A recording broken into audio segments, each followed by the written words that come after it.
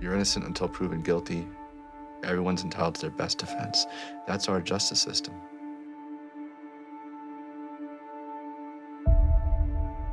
But is there absolute justice? If there is, who would have the courage to bring it about?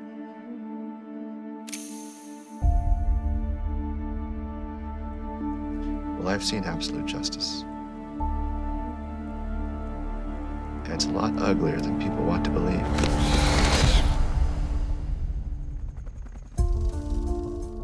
For the best damn attorney money can buy. That'll get you, counselor.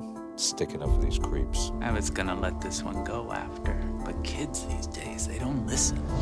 When are we going back to work, Ray? You hired me for criminal defense. I'm quitting criminal law. Still trying to. What about that society woman on the boat? The next thing I remember, I woke up to a bullhorn. There was blood everywhere and no sign of Jack.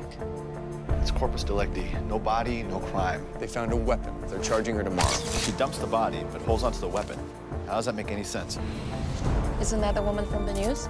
I heard her father's doing 20 years back east. The apple doesn't fall far, does it? Can't figure out whether she did it or not. You still think she's innocent? I do have something to say.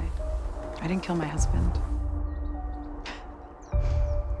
That's what they all say, right?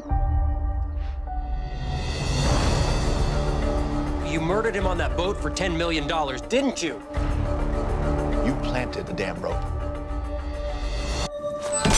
She wanted the money. She went after the money. You can't win them all, Ray. I know you can do it. I know you can win.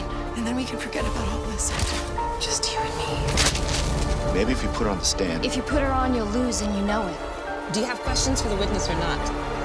You have to believe me. Counselor?